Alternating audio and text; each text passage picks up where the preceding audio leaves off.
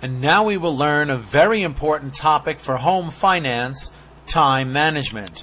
This includes making to-do lists, managing the QuickBooks calendar, and managing reminders from QuickBooks.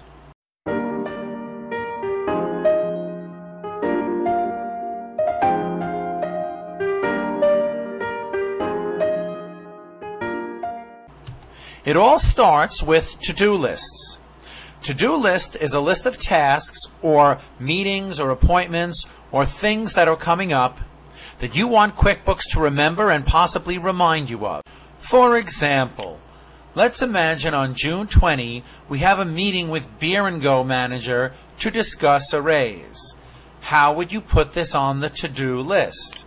Well, from the main menu, you would click Company, then to-do list. Here you have a copy of every to-do item that's on your list, and on the right side it's a little bit bigger than the screen, but don't worry, you'll be able to see it. With most of the QuickBooks list windows, the list window is controlled by the bottom left. So if you want to put a new one on the list, because our list is currently empty, you can go to the bottom left and click To Do, New To Do and this is the Add To Do window. Now, is this a task? Is this an appointment? Is this a meeting? Let's choose appointment. Let's make it the highest priority because it's about a raise. And then we'll click the with box. Now, is this with a vendor? Because if so, you would have a list of vendors here. Is this with um, an employee? Well, we have no employees. In this case, it's with a customer. And if you choose customer, you get the list of customers, or in this case, income sources. And we choose beer and go. Okay? We could even click here and put an exact time if we wanted to. Let's imagine we're meeting them at 1 p.m. in the afternoon. Now click in the detail box and type in we need a raise and in this box, you could put whatever, oops, should type things properly, but you can put whatever you need to type, as many words as you need to remind yourself as to what this to-do task, appointment, meeting is. Leave it as active. As long as it's left as active, it will remain on the to-do list. Now, after we click OK, you now see we have for June, oops, excuse me, we have the wrong due date. I believe the date of this meeting was June 20. So we can always edit this to-do item. You could just double click and it will open up in front of you. Change the date to the proper date, June 20. When we click OK, we have all the information we need for the upcoming appointment, task, or whatever it is we have to do. Example number two. June 25th, mommy's birthday, must buy a vanilla cake. Okay, well, what do we do? We go to the bottom left of the to-do list and click New To Do. And of course, in this case, it's not a meeting, it's a task. The priority is dependent on how well you love your mother. But in this case, do not click the with box because you're limited to customers, vendors, employees, or leads. And if you don't want to put her on your list, you can just leave this unchecked. But of course, we do have to put the date that it's due. Okay, we could even put the specific time if you're planning on throwing your mom a birthday uh, party. And then, of course, you put in the details buy vanilla cake and gift whatever you need to type in. When you click OK, now you have a second item on the to-do list. Let's put on a third item just for good measure. June 30th, do bank reconciliation. Well, that's a good reminder. To do, new to do.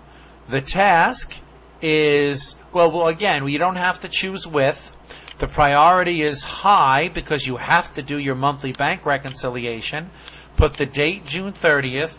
Must do bank rec for, oops, okay, for all bank accounts,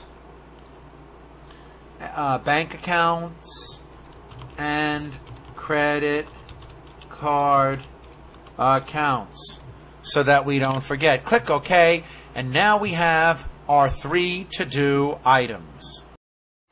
So what are the places in QuickBooks where you can be reminded of the things you have to do? Well, the first place we'll discuss is the calendar. The QuickBooks calendar shows all the to-do tasks and the date and time that they're supposed to be done. The calendar also shows all transactions entered on any particular date. So, how do we open the calendar? Well, from the main menu, click Company, and the third choice down is Calendar. Now, the calendar shows everything by month the way a calendar would. I happen to be recording this video in June of 2016. However, if I wanted to see future months, I would click the forward button. If I wanted to see past months, I would click the back button. Being in June of 2016 shows us everything that ha happened on every day in June of 2016. For example, on June 17th, we entered two transactions, and when I click on it, we get the list of the transactions that were entered on that date down here. Let's take a look at June 11th. There was one transaction entered, and here it is. Now, the focus of this video is the to-do list. So, if we click on June 20 and look at the bottom of the calendar, we can see that this is the first to-do item that we put on the to-do list, and here it is on June 20. And if we look below that, we can see the two transactions that were entered on June 20. If we need to know more information about the to-do item on that date, we could double click and we would go back to the window that we entered it and see whatever detail we need. That's also true for June 25th. We can click on June 25th and see the item that's due on that date, double click, and get the details there.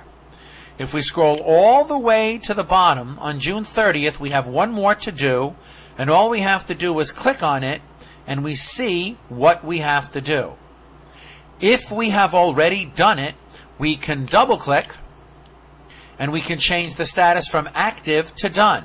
Then when we click OK, it will show that the to-do item is done. The other place that the to-do items show up on is a place called the reminders. The reminders show all the to-do tasks. You can tell QuickBooks to open the reminder list when you start the company file. So, let's close the calendar and from the main menu click Company Reminders. Notice when the reminder list opens up, there's only two to-dos left. That's because we changed the status of that third to-do item as done. When you click the triangle, you get the details of what the dates and the items are. And of course, you could always double click and edit and look back on the details of the to-do item and even mark it done while you're here. If you do that, you automatically get bounced over to the original to-do list and anything that's done you can actually click on and click to do, delete selected to do, and then click OK and that's how you manage your to-do list. Sometimes it's very helpful to open the to-do list or the reminder list when you start the company file. You can do that by changing the preference in the Preferences window. From the main menu, click Edit, Preferences, and one of the preferences or one of the categories of preferences is Reminders. Now, in any category of preference, there's my preference and company preference.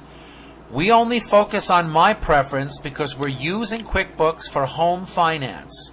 All we have to do is click Show Reminder List when opening the company file, and the reminder list will open up, and you will see all your to-do notes written there. You should also know that most features of the reminder list are only used for businesses, not individuals. So even though I do encourage you to explore and experiment with other features, these are preferences regarding the reminder list that businesses would use, like checks to print and overdue invoices from customers and so on.